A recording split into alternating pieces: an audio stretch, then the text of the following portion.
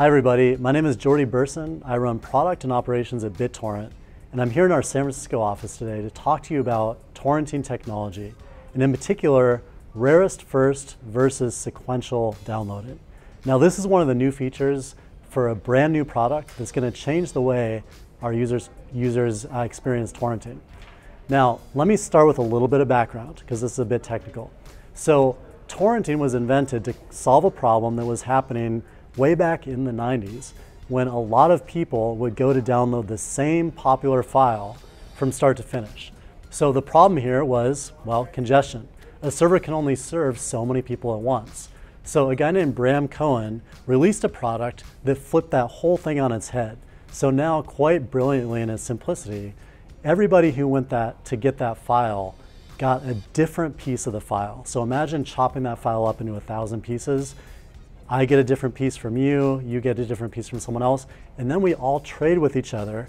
So essentially, we all become servers. Now, this is a technology that runs our products. It's also uh, technology that companies like Facebook use to distribute their, their uh, updates.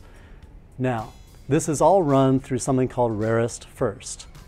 Imagine me and 10 other people are all trading bits of the same file. And some people are very reliable. They're going to be here for a bit. But there's another guy who's about to run away with his piece of the file. Well, I'm going to get that first because it may not be there in a few seconds. That is essentially the principle behind rarest first. Now that's great for efficiency. The problem though is that if I want to watch that file right now, well, the file's out of order. I simply can't. So what we did was we invented something called sequential downloading for torrenting. This is something that developers here worked really hard on. It's not an easy job. What they found was that I could have those same people in the, in the room as I described, those same 10 people, and get the file in order that I want to watch it. So it becomes much like a modern streaming experience that all of, all of us experience today. What we found was that we could still maintain the quality, still maintain the speed, and deliver this experience. And that goes on to uTorrent Web. So uTorrent Web is the new product that delivers this streaming experience.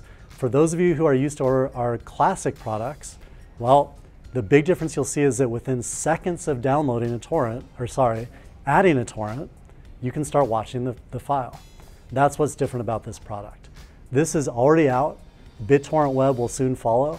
This is for Windows, and eventually it will be on Mac.